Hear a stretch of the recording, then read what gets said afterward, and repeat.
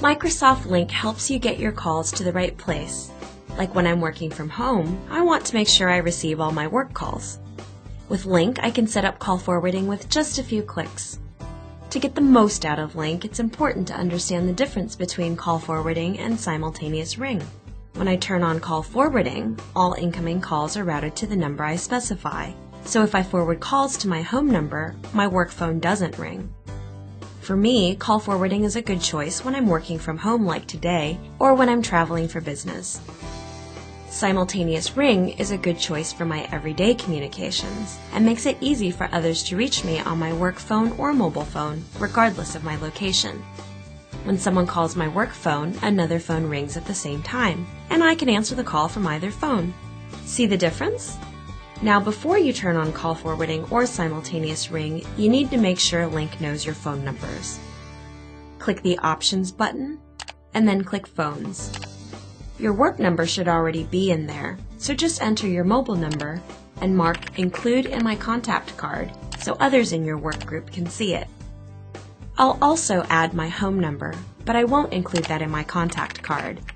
That way, my home number will be available for call forwarding but cannot be seen by callers.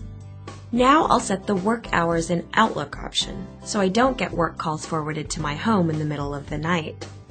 I'll click the call forwarding button and then click here and change it to during work hours as specified in Outlook, and then click OK.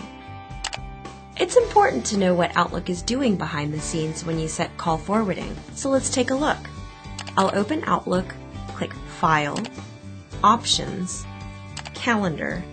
As you can see, my workday goes from 8 a.m. to 5 p.m.